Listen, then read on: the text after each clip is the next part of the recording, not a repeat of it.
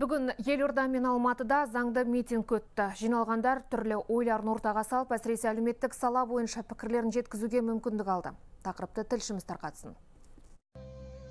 Жексенбінің таңында елордалық белсенділер жер ұйық саябағына жиналды. Ортаға шығып, ойларын айтты. Жиылған жұртпен ассамблея мүшелері, депутаттар тілдесті. Тілектерін тыңдады. Бастысы арандатушылыққа бой алдырмау маңызды. Әйтпесе шетелде отырып, халықты бір-біріне айдап салғысы келетіндер аз емес. Мне очень жаль.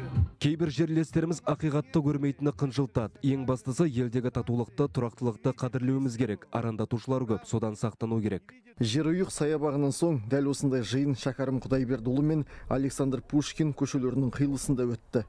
Митингке көп адам жиналмаған. Әрқайсысы ортаға шығып бүкпесіз өз ойларын жеткізуде. Яғни дәл осы маңда халықтың тілек талабы тыңдалып жатыр. Митингке шыққандар бір-бірін сынап жатты. Пікірлердің дені негізсіз дегендер болды. халықтың санасы кішкене өскен сияқты болып еді бірақ мынау жерге жиналғандар кішкене өкпе айтып отқандар сияқты ол өкпе айтуға болмайды ол үкіметте отырған адамдар да біздің адамдар сондықтан мына жерде бұл сөйлеп отқандардың онша көңілім толып отырған жоқ осылай жиналып кішкене әйтеуір мынау ә, таң қалып жатырмыз әйтеуір бір рұқсат берген ғой үкімет бізге қарап жатыр Заңды митинг Алматыда да өтті. Жиылғандар байсалды. Ортаға шығып, өз ойларын жеткізді.